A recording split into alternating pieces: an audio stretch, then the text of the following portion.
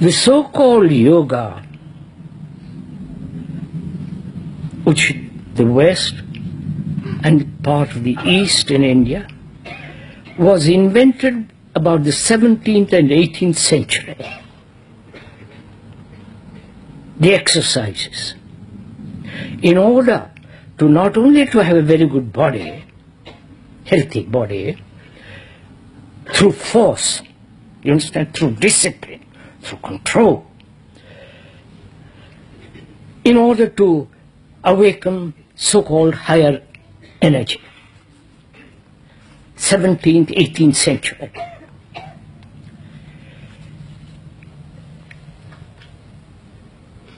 The real yoga, which is called Raja Yoga, king of yogas, is to lead highly moral life.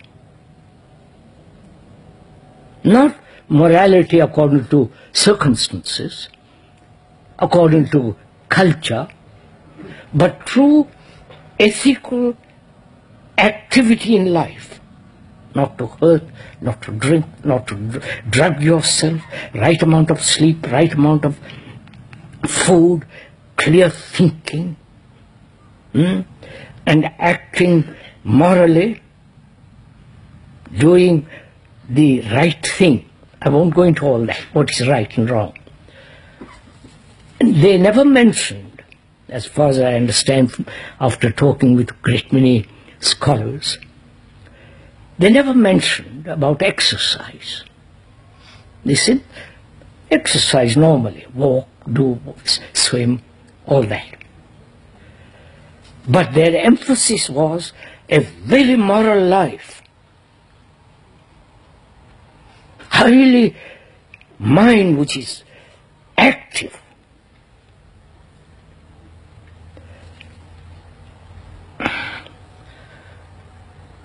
And modern yoga, the meaning of the word, you know, of course, all of you probably know, is I've talked to the scholars too, and they say it doesn't quite mean that, which is to join. The meaning of the word yoga is to join. Join the hi- higher with the lower, or the lower with the higher. You understand? And modern yoga, I don't know why I'm talking about all this nonsense.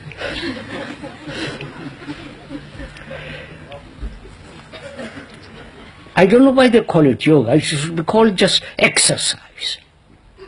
But that wouldn't appeal to you.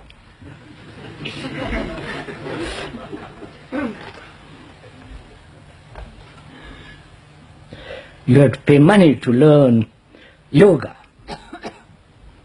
to breathe properly and all that. Really, you can practice yoga, the exercises of different kinds. The speaker has done some of it for years, taught by the experts. Fortunately, they didn't charge. because they also thought I was an expert.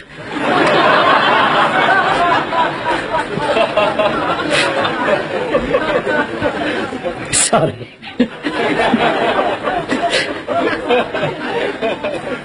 I'm not an expert. And so they soon deserted me.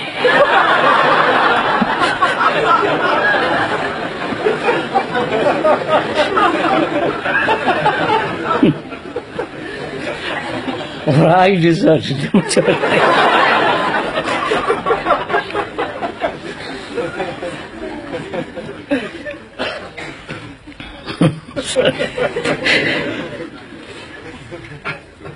Says you can do this kind of yoga exercise for the rest of your life. You won't awaken spiritual insight.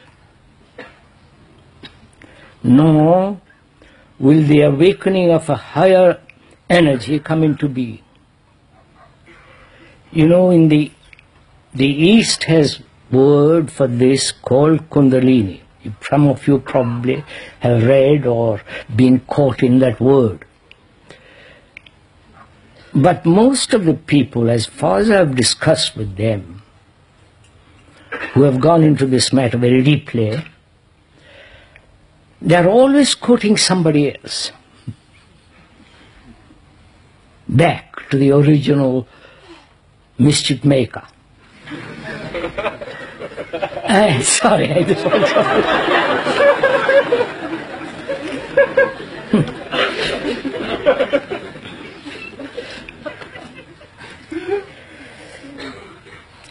and none of them, please believe me, none of them have awakened this thing. They talk about it. They have they feel certain experience and which they call by this name. I've discussed with them very seriously. And what they are talking about, certain form of increasing energy to do more mischief. I, I mean that.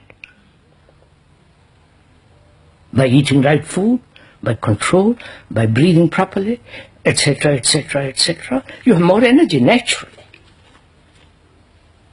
And that gives you a sense of superiority in your uh, enlightenment and so on. But there is a different form of, I won't go into it because the, you all are eager. I am not touching it.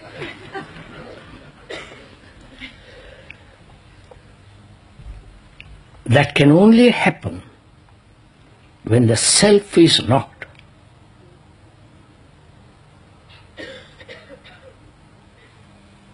Then there is a totally different kind of energy.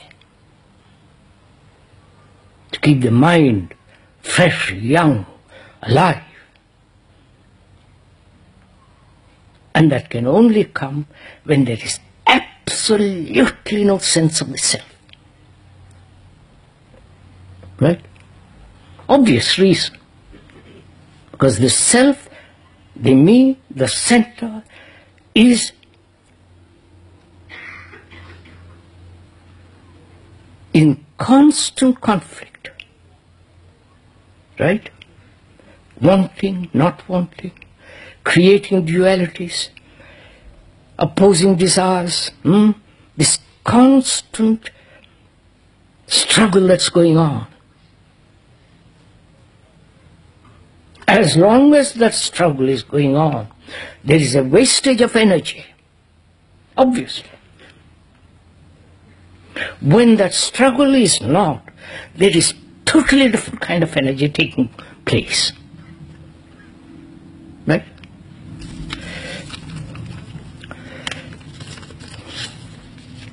There is a story of a man, of a philosopher or a patriarch, he was a well-known teacher.